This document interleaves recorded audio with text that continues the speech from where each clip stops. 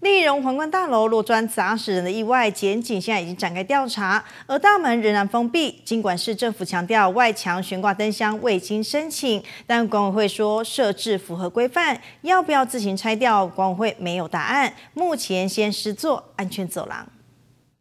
发生大理石剥落砸死老妇人意外的丽荣皇冠大楼大门口封锁线还没有拆掉，墙壁上贴出了公告，改由侧门进出。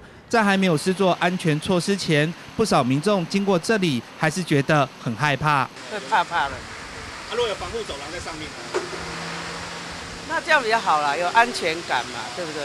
大楼外墙安全亮起红灯，店家生意大受影响。管委会这两天将施作安全走廊，针对六楼以下的瓷砖及广告招牌，通通进行安检。一定要让客人能够进出安全，所以我们先做一个安安全防护走廊。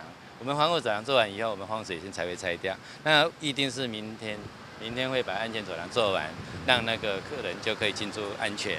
那后续的部分，我们就会所有六楼以下的这些食材，我们还会再做后续的检查。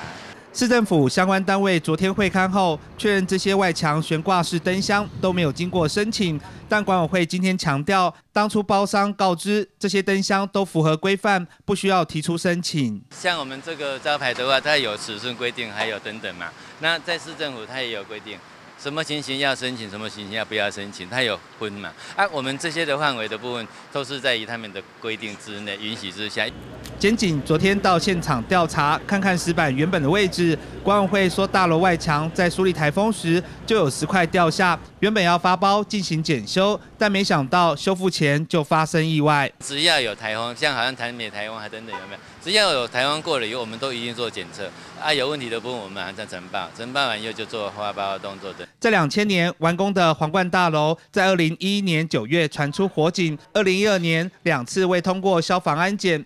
好不容易在二零一三年一月过关，结果二月又起火，状况连连，还影响到日本平价服饰店的开幕。现在又发生石板掉落砸死妇人，检警跟市政府要对大楼展开体检，追究可能面临的责任。记者黄少明采访报道。